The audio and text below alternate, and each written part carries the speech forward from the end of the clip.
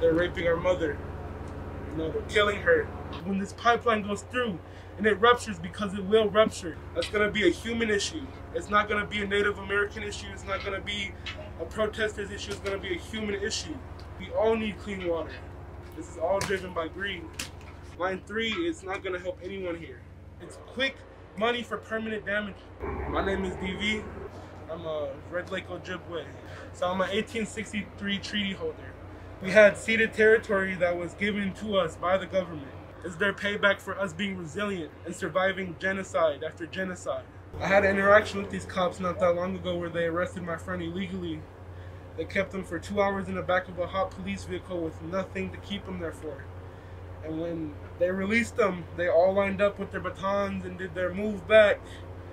But I sat down, I pulled my tobacco in my pocket, and I said, I'm gonna pray for you. I went up to each of those cops and in their face, I said, I'm gonna pray for you.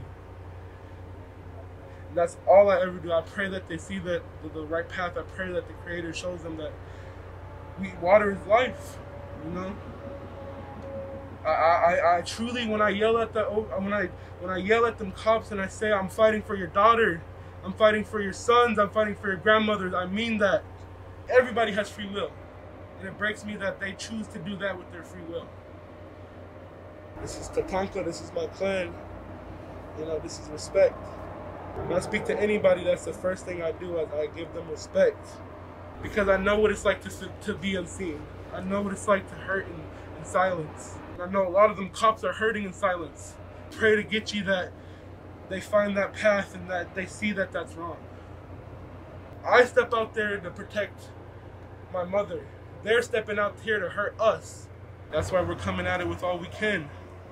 Our elders, our daughters, our sons, our brothers, our sisters, our uncles, our aunties, we're all here. We're all watching.